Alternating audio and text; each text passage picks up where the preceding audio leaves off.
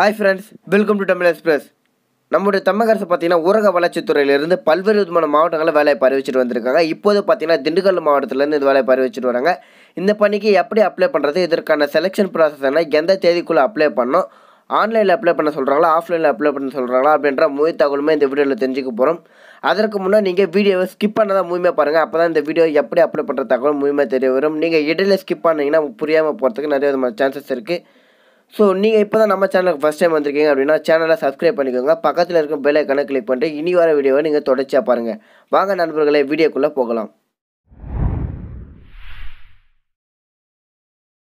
நண்பர்களே இந்த ஊரக வளர்ச்சித்துறை பொறுத்த வரைக்கும் நீங்கள் திண்டுக்கல்ல மாவட்டத்தில் இருக்கிறவங்க மட்டும்தான் அப்ளை பண்ண அப்படின்ற எந்த ஒரு கண்டிஷனுமே கிடையாது. நீங்கள் தமிழ்நாட்டில் உள்ள அனைத்து மாவட்டத்திலும் இந்த வேலைப்பை விண்ணப்பிச்சுக்கலாம். இப்போது இந்த வேலைப்பு என்ன போஸ்டிங் அறிவிச்சிருக்காங்க அப்படின்னு பார்த்தீங்கன்னா சாலை ஆய்வாளர் காலி பணியாளர்கள் நேரடி நியமனம் தான் உங்களுக்கு செலெக்ஷன் பண்ண போகிறாங்க இந்த வேலைப்பை பொறுத்த வரைக்கும் எந்த விதமான எக்ஸாமினேஷனும் கிடையாது. உங்களை ஃபீஸும் எதுவும் கேட்கல.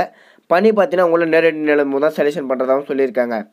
இந்த பணிக்கான சம்பளம் ஊதியம் பார்த்தீங்கன்னா உங்களுக்கு பத்தொன்பதாயிரத்தி ஐநூறுலேருந்து அறுபத்தி இரண்டாயிரம் வரைக்கும் உங்களுக்கு சம்பளம் உயர்வு இருக்குதான்னு சொல்லியிருக்காங்க. நீங்கள் விண்ணப்பிக்க வயது வரம்பு பார்த்தீங்கன்னா இருபது ஜூலை மாதம் ஒன்றாம் தேதி அன்றைய நிலவரப்படி உங்களுக்கு பதினெட்டு வயதுல இருந்து முப்பத்தைந்து வயதுக்குள்ளே நீங்கள் விண்ணப்பிக்கலாம் அப்படின்னு சொல்லியிருக்காங்க. இந்த வேலையை பொறுத்த வரைக்கும் மொத்த வேகன்சி பார்த்தீங்கன்னா இருபத்தி ஆறு வேகன்சி அறிவிச்சிருக்காங்க அதுவும் பார்த்தீங்கன்னா கேட்டகரி ரெண்டு வயசான வேகன்சி கொடுத்துருக்காங்க.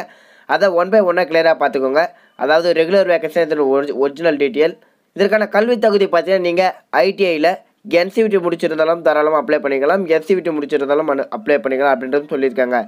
நீங்கள் பார்த்தீங்கன்னா இடையில் டிஸ்கண்டினியூ ஆகிடக்கூடாது நீங்கள் கரன்சிலையும் பண்ணிடக்கூடாது நீங்கள் ரெகுலராக அதாவது கரண்ட்டில் நீங்கள் ஐடிஐ முடிச்சிருந்தா மட்டும்தான் விண்ணப்பிக்கணும் அப்படின்னு சொல்லியிருக்காங்க. நீங்கள் விண்ணப்பிக்க கடைசி தேதி இருபத்தி ஆறு இரண்டு இரண்டாயிரத்தி இருபது. இந்த நோட்டிஃபிகேஷன் கீழே பார்த்தீங்கன்னா இதனுடைய அப்ளிகேஷன் கொடுத்துருக்காங்க. இந்த அப்ளிகேஷன் தான் நீங்கள் ஃபில்அப் பண்ணி போஸ்ட் மூலிமா அனுப்புகிற மாதிரி வரும். அதாவது இந்த நோட் அப்ளிகேஷன்லேயே அதற்கான வேலை மென்ஷன் பண்ணியிருப்பாங்க அதனுடைய நேமு அதை நீங்கள் பார்த்துட்டு உங்களுடைய பேசிக் டீட்டெயில் எல்லாமே ஃபில்அப் பண்ணி நீங்கள் போஸ்ட் மூலிமா அனுப்பணும்னு சொல்லியிருக்காங்க. உங்களுக்கு வேறு ஏதாவது டவுட் இருந்தால் மறக்காமல் கமெண்ட்டில் லீவ் பண்ணுங்கள் இந்த மாதிரி வேலை இப்போ நீங்கள் உடனுக்குடனே தெரிஞ்சுன்னு நினச்சிங்கன்னா மறக்காமல் நம்ம தமிழ் எஸ்பி சேனல் சப்ஸ்கிரைப் பண்ணி வச்சுக்கோங்க. அடுத்த வீடியோவில் ஒரு